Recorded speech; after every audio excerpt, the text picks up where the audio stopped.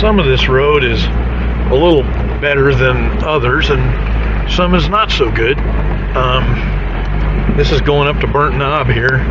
My uh, my partner is at least up and to see if we're going to crash or not.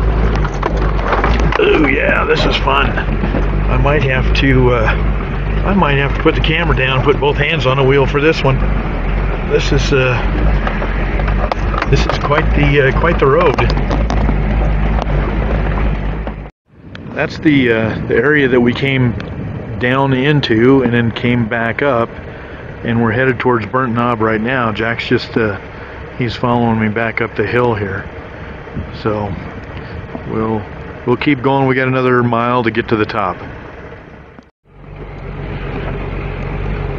Coming up to the Burnt Knob Lookout, and uh, I'll get some more pictures once we get up there. But uh, the road's a little bumpy. I've not had to put it in four-wheel drive. I doubt Jack has. We aired our tires down to about 15 pounds, and so we've got good traction, and it's just real bumpy. You need to have really good tires to come up this road. Well, I'll do a 360 here from the top of Burnt Knob. Looks like we might get some rain. But it was uh, quite the trip up here. We probably are at 80,000, excuse me, 8,700 feet.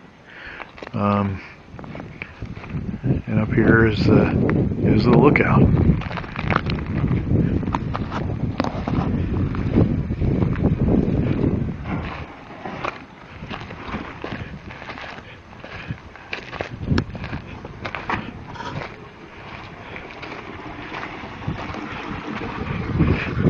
I was wondering if it was getting warm. It was getting hot. Yeah.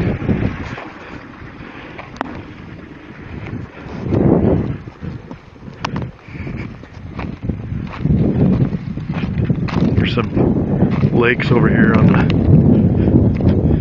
I think. I think I can't tell right offhand, but I think this is kind of the northeast side of Burnt Knob. Got to be careful here. There's some loose rocks. I don't want to slip, as you can probably see why. Pretty steep. Well worth the drive.